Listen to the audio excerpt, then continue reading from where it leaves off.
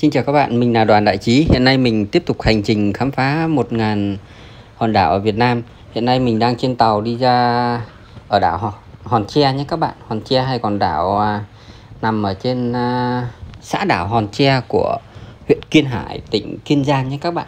Đây à, hôm nay mình đi một trong những chuyến tàu đặc biệt và vô cùng nhớ đời. Một con tàu rất là nhỏ, tàu cano cao tốc rất là nhỏ và đi rất là lúc mình đi thì trời yên, biển lặng, nhưng mà về đến đây thì thấy sóng gió và các bạn nhìn thấy đây khung cảnh trước mặt mình đây gió và sóng rất là lớn. Tàu nó chạy với vận tốc rất nhanh, lần đầu tiên mình đi một chuyến tàu như vậy. Đặc biệt là hôm nay mình còn à, ngồi lên trên nóc trên tàu luôn các bạn nhé. Mình không ngồi ở dưới và ngồi trên nóc con tàu luôn. Đây thì cái cái gió và nước biển tạt lên áo của mình cũng như là túi của mình ướt hết luôn. Cái à, máy quay của mình các bạn thấy rất là nhiều mảng mờ dù liên tục phải lau á này, các bạn nhìn thấy không? À, trên à, uh, bon thì người ta xếp rất là nhiều uh, hàng hóa và có một số người trèo lên. Và mình à, vừa xong mình đã quyết định mạo hiểm trèo lên đây để quay thêm những cái góc quay cận cảnh về cái chuyến tàu này nhé các bạn nhé. Bây giờ mình sẽ giới thiệu thêm về chuyến tàu này. À, một trong những cái chuyến tàu có hải trình nó khoảng độ 30 cây số nhé các bạn. Từ cảng gạch giá ra đảo Hòn Tre nhé các bạn nhé. Tàu này thì nó sức chứa nó khoảng độ 4 50 người nha. Hôm nay mình đi thì hơn 50 người một xíu. Nó tùy từng hôm á các bạn nha. Tàu nó dài khoảng độ à, 10 à, khoảng độ 25 mét và chiều rộng của nó chắc khoảng độ 5 mét thì nó nhé các bạn nhé đó, mình mình đang đi này.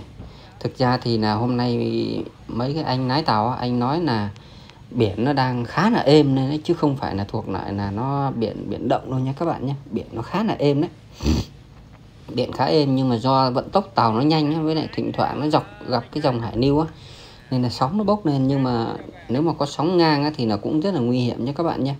Lần đầu tiên mình đi một cái con tàu mà nó mình cảm giác nó nguy hiểm vậy dù mình đã đi rất là nhiều chuyến tàu và khám phá rất là nhiều hòn đảo ở Việt Nam nhé các bạn nhé. Nhưng mà nếu có các, mọi người mà có gì trải nghiệm á, thì có thể đi ờ, chuyến tàu này cũng được à. Này chuyến tàu này nó cái số của nó là Kiên Giang 13 139 nhé mình không muốn nói tên cái hãng tàu ha. Vì sợ có gì để anh em họ còn làm việc á. Anh chủ tàu anh ấy không muốn cho quay phim nhé các bạn. Này là bắt đầu mình đi từ từ đảo Hòn Tre về đất liền nhé các bạn nhé. Đây là đường đi xuống bến tàu này. Lúc mình đi thì buổi trưa trời khá là nắng và biển khá là êm, không có cái gì là vất vả cả nhiều người dân ở đây lúc mình ngồi trên quán cà phê mình đợi tàu thì nói là nếu mà mùa mưa thì là biên phòng họ sẽ không cho ra khơi đâu nhé các bạn nhé. Vì là tuy là có 30 cây số thôi nhưng mà mưa mà đi sóng gió rất là nguy hiểm và cái phải những cái tàu lớn mới được. Còn những cái tàu này gọi là tàu tàu cao tốc mini nó rất là nhỏ. Nhìn vậy nhưng mà khi đi ra ngoài biển các bạn mới thấy là nó rất là nhỏ nhé các bạn nhé. Đó. Bây giờ bắt đầu à, đi xuống bến tàu này và hành khách người ta đang chuẩn bị người ta xuống nhé các bạn nhé. Thì những cái tàu này người dân ở đây người ta quen gọi là tàu chợ nó cũng như là xe đò tàu tàu chợ thôi. Nghĩa là những cái con loại là tàu tàu nhỏ và nó nó nó không không bằng những cái tàu cao tốc như là Super Đông hay là tàu Hòa Bình ấy, là những cái tàu mà nó lớn nó chở được mấy trăm người gần bằng cái máy bay nha các bạn. Những cái tàu này là tàu nhỏ không à hầu hết là người dân người ta đi chứ khách du lịch rất là ít khi người ta đi những cái tàu này nhé các bạn nhé. Nếu mà các bạn đi du lịch ra những cái hòn đảo ở ngoài à, Kiên Giang ấy, thì là hầu hết là các bạn mua những cái vé tàu lớn chứ ít khi là có những cái trải nghiệm đi những cái tàu nhỏ này. Mình lúc đi mình đi tàu lớn mà lúc về thì do một sự cố nên là mình đã ừ, trải nghiệm cái tàu nhỏ này để mang đến một cái cảm giác khác và cũng ghi lại những cái cuộc sống trên biển của những cái người dân ở ngoài đảo nhé các bạn. Những cái tàu này một ngày thì nó có hai ba chuyến đi từ rạch giá ra kiên giang cũng như là đi từ à, đi từ rạch giá ra ngoài hòn tre cũng như là đi từ hòn tre về nhé các bạn nhé. Đấy. Giờ anh à, anh anh phụ tàu nó cũng như kiểu là nơi xe anh đang à, đợi khách và chuẩn bị là tí nữa là người ta xếp xe máy lên trước mũi nhé các bạn nhé. Xe máy hôm nay thì mình vừa nghe anh ấy nói là có 5 chiếc xe máy nhưng mà anh ấy chỉ nhận ba chiếc được thôi vì là ba chiếc người ta chỉ để một nửa bên mũi thôi còn một nửa bên mũi là cho lái tàu để còn nhìn thấy đường nhé các bạn nhé. Chứ lái tàu mà không nhìn thấy đường là rất nguy hiểm vì lái tàu là ngồi ngay ở cái chữ chữ hiệp đó các bạn thấy không? Là ngồi ngay đó luôn. Đó. Tàu thì hầu hết uh, những cái chuyến tàu mà đi từ ngoài đảo này về thì là đều mang đặc sản của đảo. Đặc sản của đảo Hòn Tre là xoài và tôm cá như các bạn. Ở ngoài đảo này thì có rất nhiều cá và cua.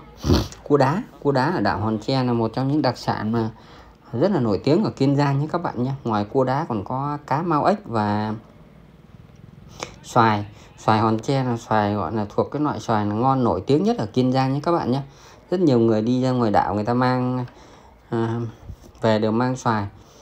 Đảo Hòn Tre là một trong những cái đảo mà hiếm hoi mà lại có thể trồng được nhiều cây ăn trái nước ngọt nhé các bạn nhé. Ở trên đảo mình sẽ có một clip review toàn bộ những cái đường xung quanh đảo cũng như là cuộc sống của người dân ở trên đảo sau để mọi người biết. Nhưng mà mình nói thêm là cái đảo Hòn Tre này là người ta trồng rất là nhiều xoài. Lại xoài mọc tự nhiên không đi đâu cũng thấy xoài xoài Hòn Tre rất là ngọt nhé các bạn nhé. Nó là giống xoài cát nhưng mà ngon. Chỉ ngon hơn cả xoài cát hòa lộc luôn các bạn nhé. Ồ người ta dân cái đường đường đi xuống thì rất là nhỏ nhé các bạn nhé. À, xíu nữa thì khi là mọi người đến đủ thì tàu mới đi nhé các bạn nhé mỗi ngày thì có khoảng mấy chuyến tàu như vậy nhé tại vì là tuy là cách đất liền có khoảng 30 cây số thôi nhưng mà à, Hòn Tre hiện nay nó là trung tâm của huyện Kiên Hải các bạn. Mình nghe nói là sắp lên thị trấn rồi á. Nên là dân ở đấy rất đông đúc khoảng độ 7 8 ngàn người ấy, nên là cái nhu cầu đi lại từ thành phố gạch giá ra ngoài này ấy, thì là cũng rất là nhiều cũng như là người dân đảo đi mua sắm đồ đạc các thứ ngoài một số các cái sản phẩm đặc trưng của đảo thì đa phần là đều mang từ đất liền ra nhé tàu mà đi từ Hòn Tre về là còn ít hàng hóa đấy các bạn. Dù là xếp kín cả trên khoang này nhưng mà vẫn là còn ít.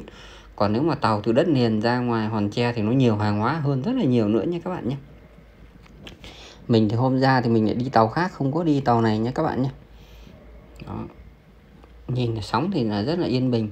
Còn hôm nào mà mưa thì là tàu nó tròng trành sẽ chạy chậm hơn. Nếu mà bình thường đi từ Hòn Tre về đất liền thì là đúng một tiếng đồng hồ. Còn nếu mà những cái hôm mà sóng thì có thể đi mất tiếng rưỡi nhé các bạn hoặc hai tiếng luôn. Trong khi nếu mà tàu tàu cao tốc uh, Super Đông ấy, thì nó chạy là có 30 phút rồi. Vì tàu nó là tàu lớn nó chạy vận tốc nhanh hơn nhưng mà nó êm hơn cái tàu.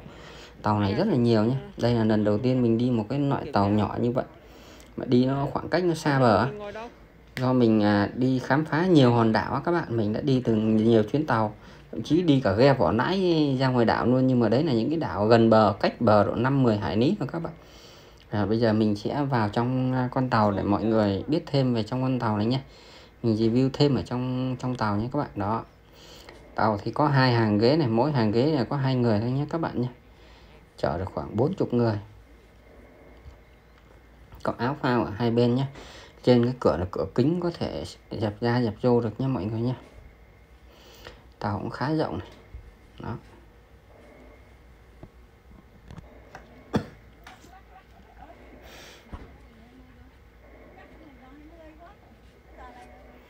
Này thì trên tàu chưa có nhiều người lắm này. Ít người. Áo phao thì mỗi ghế đều có hai cái áo phao nhưng mà họ còn để thêm cả áo phao nữa nhé các bạn nhé rất là nhiều áo phao. Trên có áo phao dưới có áo phao nhé các bạn nhé. Giờ nhiều hành khách bắt đầu xuống này. Ở trên tàu thì không có số ghế ai nên mua vé mà nên trước thì ngồi trước lên sau thì ngồi sau chọn chỗ ghế còn nếu mà không có thì phải lên nóc ngồi hoặc là đứng nha các bạn nhé. Ở đằng sau này đằng sau này thì cũng có thể có ngồi được nha các bạn nhé. Chỗ này là đầu máy của tàu này máy nổ của tàu này. Đi lên thì nó hơi là thấp khá là thấp đấy các bạn nhé. Mọi người phải chú ý không nó cục đầu vào cái tàu này, tàu nó nhỏ, thấp để cho nó thon cái thân tàu á, là mình có đi thì nó, khi nó đi thì nó nhanh hơn, tiết kiệm cái cái lực ma sát với lại nước và không khí mọi người. Tàu bắt đầu đông người lên rồi này. Đó. có cả bà già cũng lên tàu luôn nhé mọi người nhé.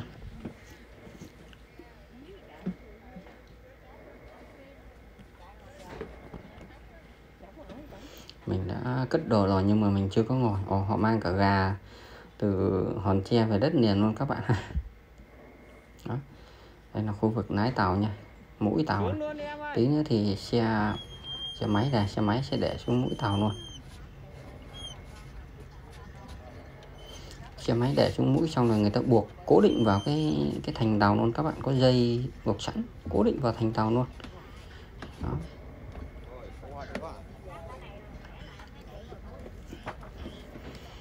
Cái việc mà đi mang xe máy lên tàu là đều phải có à, bộ đội biên phòng người ta kiểm tra nhé các bạn. Không phải sợ lấy cắp á.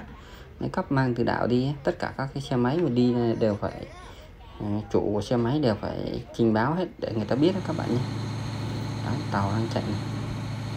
vì là cái chuyến tàu này đa phần chỉ dành cho dân ở đảo đi vào à, đi vào bờ đất nền đó các bạn. Nên là nhiều người người ta ngồi ở thành không à. Vì dân đảo là, là những người mà người ta rất là quen thuộc với lại cái đời sống sông nước đó, mọi người.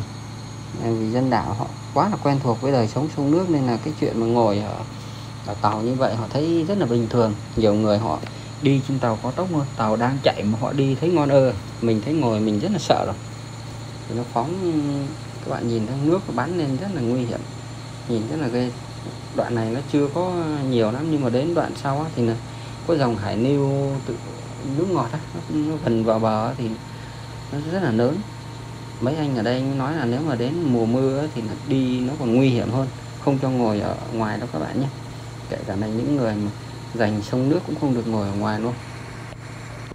Bây giờ chuẩn bị mình sẽ leo lên trên nóc tàu để mình ghi lại những cái đây leo trên nóc lên trên này nhé các bạn nhé. Quyết định mình leo lên trên nóc để ghi lại toàn cảnh cái con tàu này nhé các bạn nhé đây là một trong những cái chuyến tàu mà mình thấy là nó đáng nhớ và nó, nó nguy hiểm nhất trong cái hành trình khám phá một ngàn hòn đảo của mình nha các bạn nhé. À, đoạn này thì nước nó khá êm này. À còn tàu này nó có một cái đặc biệt nữa là nhà vệ sinh. Nhà vệ sinh là đúng à, chất của miền Tây luôn nhé các bạn nhé. Bây giờ mình sẽ review cái nhà vệ sinh của tàu này. Nhà vệ sinh là nhà vệ sinh chỉ hở luôn này không có kín luôn các bạn nhìn thấy không? Họ chỉ nập hai tấm tôn như kiểu là các cái cái nhà cầu ở miền Tây luôn, đúng đặc trưng của của miền Tây nhé các bạn nhé. Nhà vệ sinh nộ thiên luôn mọi người. Nhưng mà các nhà vệ sinh này không ai dám à, đi vệ sinh quá vì làm đứng ở trên này sẽ nhìn hết luôn. Tàu nó chạy với tốc độ khá nhanh, khoảng 30 cây số một giờ nhé các bạn nhé. Tức là cũng gần bằng xe máy ở trên trên đất nền rồi chứ không có ừ, chậm đâu với vận tốc này là thuộc loại khá nhanh rồi tàu nhỏ này chạy rất là nhanh.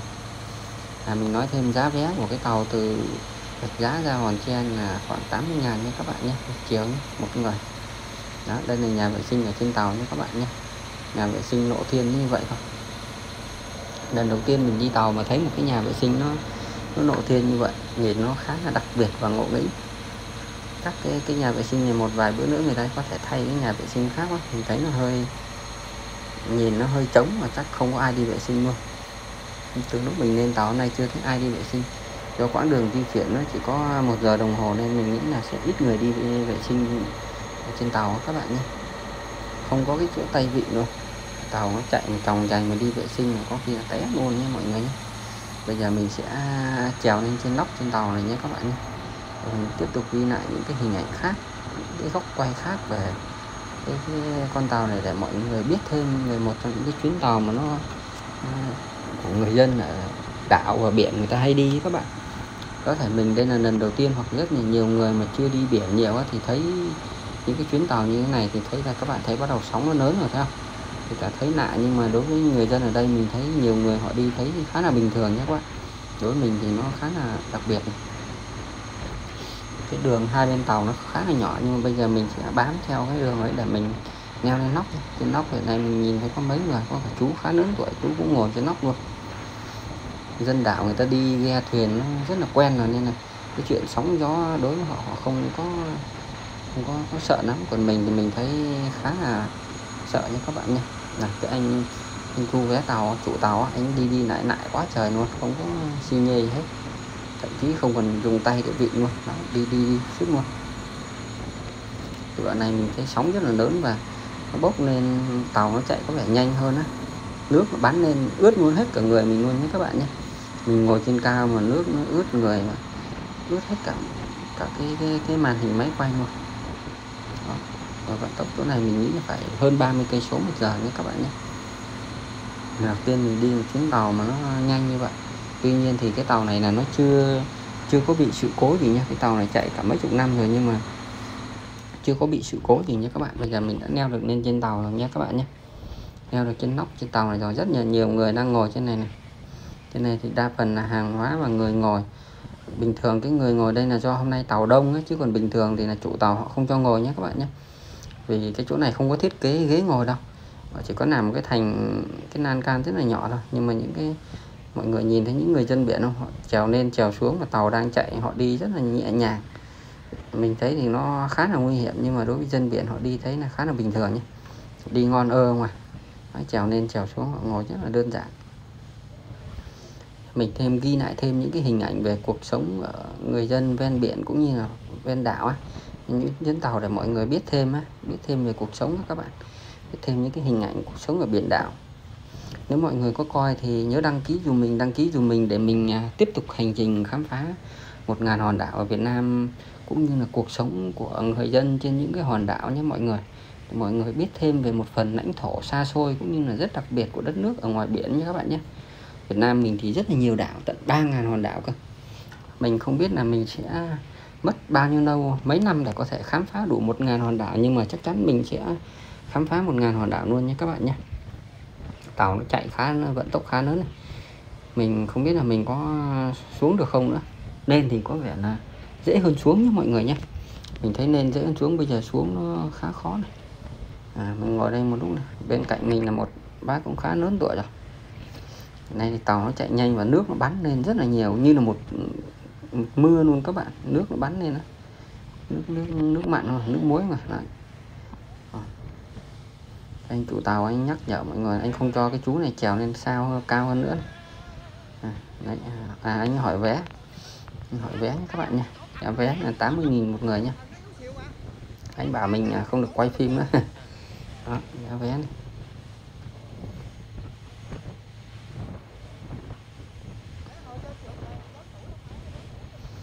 À, hồi trên này là một lúc là ướt hết đồ luôn nước, như kiểu là mưa. Còn nếu những ngày mưa là không được ngồi trên này nhé các bạn nhé. Phần vì nó nguy hiểm, phần vì nó rất là nước nước nó bắn lên nhiều cái này tàu nó ấy thì không không ngồi nó được.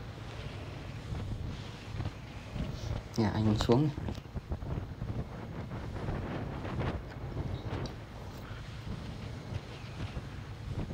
nhiều người người ta còn đứng này. Mình ngồi mình đã thấy cái tàu nó rung nắp rất là mạnh nha hôm nay sóng nó thuộc loại êm đấy còn đi như vậy còn những cái hôm mà có, có trời nó mưa thì nó còn nguy hiểm hơn nữa nhé các bạn.